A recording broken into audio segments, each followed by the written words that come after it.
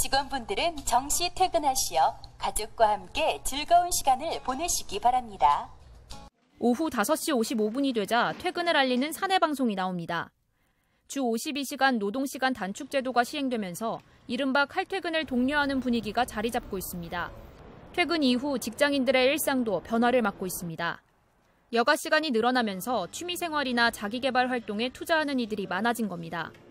온라인 쇼핑 업체 티몬에 따르면 지난달 1일부터 19일까지 뮤지컬 공연과 전시 관람권 매출은 지난해 같은 기간에 비해 각각 25%와 46% 증가했습니다. 민간 문화센터에서는 직장인을 대상으로 한 평일 저녁 강좌가 다수 신설됐습니다. 쉽지 않았던 평일 야구 관람도 이제는 가족과 친구와 함께합니다. 일도 일찍 끝나고 해서 야구 경기도 있어가지고 오늘 같이 직원들하고 같이 가족과 함께 응원하러 왔습니다. 직원들이 일찍 퇴근하고 자기 여가 생활을 많이 즐기고 있는 것 같습니다. 일과 삶의 균형, 워라벨을 지향하는 사회적 분위기가 조성되면서 보수적인 조직 문화도 조금씩 바뀌고 있습니다. 직장인 박재광 씨는 그동안 주저했던 유형 근로를 시작했습니다.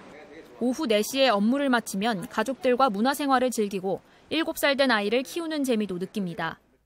주말부를 하고 있는 입장인데 그 금요일 날 4시에 퇴근을 하고 집에 가면 아이가 아무래도 잠이 들기 전에 같이 저녁도 먹을 수 있고 같이 산책도 나갈 수 있게 돼서 우려와 기대 속에 도입된 노동시간 단축.